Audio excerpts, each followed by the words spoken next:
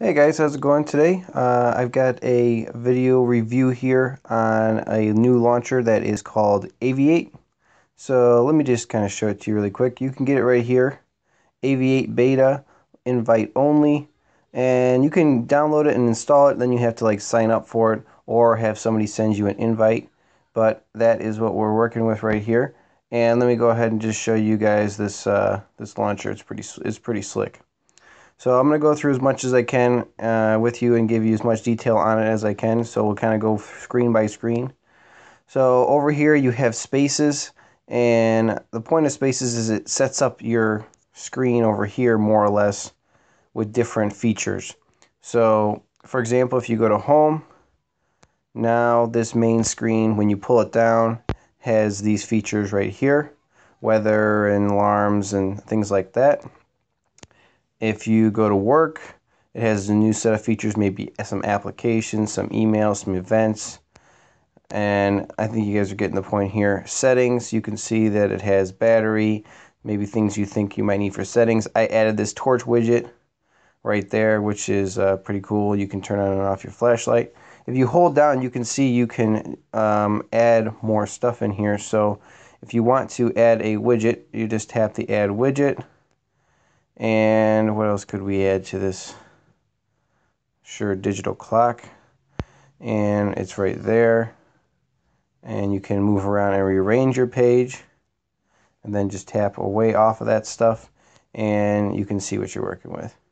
So that's basically how it functions when it comes to these spaces over here on the side. Um, pretty pretty simple, really, uh, how that how that actually works. It, it, basically what it does is changes is is right here is these settings right here when you swipe down. Um, so on here you can see I got a picture on here. I've got a search bar and then these are my favorite apps. And you can only you can rearrange them just by dragging them. You can only have um, 10 favorites here on this device in this screen. So if we scroll over, this is collections and collections works by auto grouping your applications. You can also edit them. Um, so if, if you have a collection and you want to edit it, you just come in here or you want something from this collection like this into that collection. You can see you can move them around, but it auto does it for you and it really groups pretty well actually normally. Um, one of the other things, things that I saw that was kind of neat is if you click on this new, it'll just auto suggest things that go in that category. So games or like you said so on.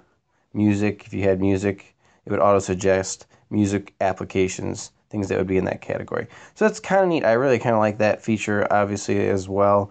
Um, again, if you want to rearrange things, you can rearrange where they're, how they're laid out on here.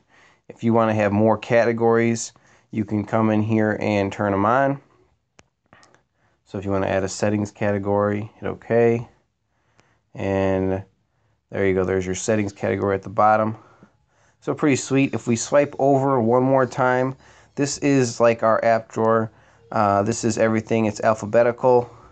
And you can also just touch on the side and skip around, which is pretty nice if you have lots of apps in your app drawer. So there is no real actual app drawer. That is your app drawer. It's always this last screen on the right. Collections. Then you're like basically like your home screen, with your pictures and things like that. And if you put widgets in, this is where they would be also. So if you want to add a widget, we'll add another widget in here really quick. It would be a good widget? Wi-Fi toggle. There you go.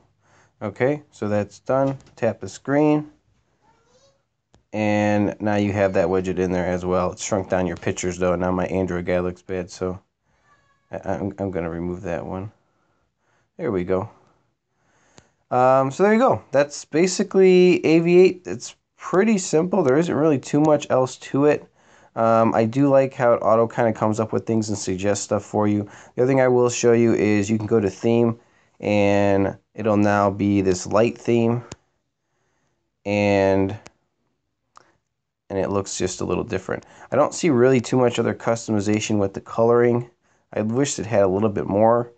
Um, but uh, the dark theme actually I really like, so I'll probably just end up leaving it on that because I think it looks pretty slick. So guys, there you go. That is Aviate launcher for Android. Hope you guys like this little review. As always, RootJunky out.